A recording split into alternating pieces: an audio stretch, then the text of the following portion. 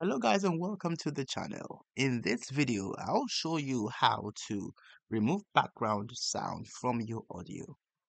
Alright guys, it doesn't matter how it was recorded, when it was recorded. I'm going to show you guys, even if the audio is contained in the video, I'm going to show you how to remove the background sound in this video. I'm going to show you step by step. Alright guys, let's jump into the video. Alright guys, just go to your browser and enter in Audacity okay? Go right there. This still works guys until now it works.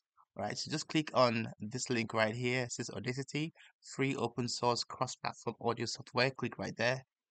And it leads you onto this page. Once you're here guys you're able to go to download at the top here and say you choose your pc type. Is windows Mac, Linux, whatever you have here, choose. I'm going to choose Windows because I'm on Windows. And then once I'm here, I'm going to download it right here. You can see right now it's downloaded.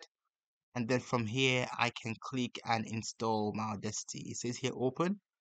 I'm, I'm going to open. And if it doesn't open for any reason, I'm going to go into my files. Okay, there we have it. It's opened. And once I'm here, I can click on yes. Okay, but my audacity is already installed on my pc okay? So once that's done guys if that's you i mean you, you already have on your pc you can join me the next step. If not you have to proceed and click on yes and keep on going following the prompt until you install it okay? So let's go back. And then since i'm already i already have the app on my pc i'm going to press on the windows button and then search for the app. So i'll type in audacity. Audacity. There you go. It's right there I'm going to open it. And it's loading, it's loading. It's here, it's here, it's here. I'm going to say skip. Uh, I'm going to say skip as well. I'm going to say okay. And I'm going to open it, make it larger. And then this is our recording platform right here. So what you can do guys is if you want to record a sound, I advise that you record directly with Audacity. What you can do is plug in your mic to your PC or whatever you're using and you can record your voice right here. So to record, you can click on this button right here. It says to record your voice like we have this. It's now recording my voice as you can see. Um, it's recording everything I say and you can see this is the wave, the wave patterns that show that the voice is being recorded right now. Okay, and then to stop recording, click on this button right here at the top here, top left says here stop. Click right there and it stops to record. You can see right now I'm, I'm speaking, but it's not recording. So because it has stopped recording. So I'm going to go right here. And if you have a sound like this, guys, which is recorded directly, that is fine. If you don't have a sound that's you know that's recorded directly with Audacity, what you can do is to simply go to to uh to your files, okay, files right here, and you can you can simply go to your files right here or your file and then you go to import. Go to import, you see audio right here. I'm going to click on audio and I will go to my folders and find the exact location of the of the audio which I want to import and click on it and it imports the audio right away. For example, I have this audio right here that says Jenkins tutorial. I'm going to click right there and it opens this audio right here. It says here um that this tutorial here, all right, okay, so it's giving us a prompt message here telling us that the file is in MP4 format, which is the reason why it cannot import into here. So that's clear, guys, because we are supposed to only import WAV files and MP3 files. These are the files that mainly work with Audacity. All right, so if we can just simply go to File here, um, and go to, go to Import, click on Audio, and it opens once again. And we can look for files here that are actually um, our wave files. This is a wave file, for example. It's a wave file. So you can see right here. It's a WAV file. Click on the file and it imports the file, as you can see, to Audacity. Right. So it's imported the file beneath the original file I have here because obviously it's my second recording. All right. So it, it can import as many as you want it to. Uh, but uh, normally, guys, I would say if you for regular recordings, normally like one sound, right? So you can just do that right here. And so let's say we have one sound. So this is how you import the other one, okay? So let's just work with the one we have already. So let's go here and let's highlight this one and let us delete this one we have right here. let's delete this one right here simply delete it okay now we have only one so to delete the sound on this tab simply come right here and click on this cancel button here just close and you close that tab simply that's how you can delete that voice sort of uh, voice area of recording now if you have this one which we recorded the first time i'm going to show you how to take off the background sound which is pretty, pretty much the same the same um the same method uh it's just that we're doing it here for an audio that was recorded directly on Audacity. So what you can do guys is to expand this, expand this out. So I'm, I'm just expanding it, okay? Okay, let's get to the end of it.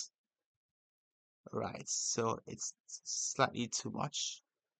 All right, so let's, this is good enough guys. So now, once my my recording appears this way now, I can see every aspect well spaced. Now, what I can do is to simply go to the first aspect, guys. So there's a trick to all this, uh, guys. Before you're able to record with Audacity or before you should record, make sure that you give a little bit of silence before you record.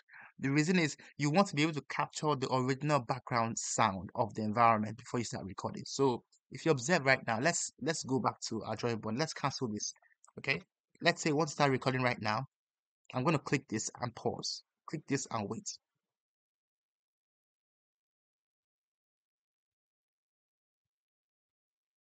Then start talking. So what I've done right now is I've allowed Audacity to capture the background sound of my environment before recording. The reason is it has to have a standard to be able to remove it from the original recording, which is why um, it's important to watch this video. Okay, so let's just stop the, the recording right now. Stop right here.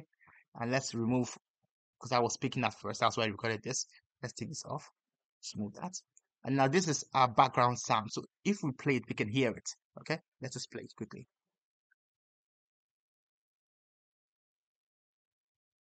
So it's all quiet there. It's all quiet there. Then start talking. So what I've done right now is I've allowed Audacity to capture the back. So there you go. So this is the area of background sound. So you can highlight this area. Okay, just drag and highlight the area and go to effects effect and go to where it says here noise reduction okay let's go to noise reduction and we go to get noise profile so we're saying to audacity audacity to capture the the amount of noise in the background originally okay we'll do it right now and then we now we have the noise profile what we can do is to click on the on the recording and then highlight everything and we now go back to effects and click on repeat noise reduction. So what we're saying now is to Audacity to use that background sound that it has captured to apply to all of the sound and take off anything that sounds like that. So we'll do repeat noise reduction right here and it takes off the noise completely from the recording. All right, so I'm sure you're saying, what has changed? What really happened now? Audacity has done what it's supposed to do. Now, normally what happens is if you have a very long recording, you see a box that comes out here and it shows you the, the progress of the removal of the background sound. But because this is a very short recording, it was so quick that you didn't see it. Okay, so that's what happened. So let's hear it again. Then start talking. So what I've done right now is I've allowed Audacity to capture the background. So now the background sound is gone. Okay, so if you if you're wondering if this really worked out, let's go back to what it was before. Let's go back. Let's do Control Z, and this is what it was before. Okay, like this. You see. So if you hear this, let's take this off. If we hear this again,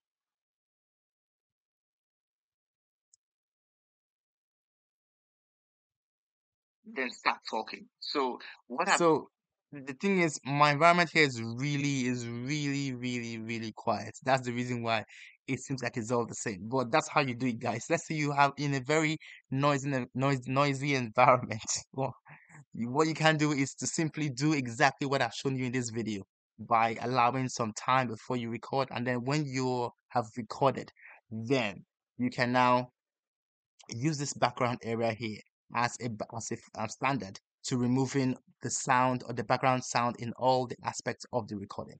So that's how it's done in, in Audacity, guys. And that's the video, guys. Thanks for watching. And please like the video, subscribe, and see my next video. Bye for now.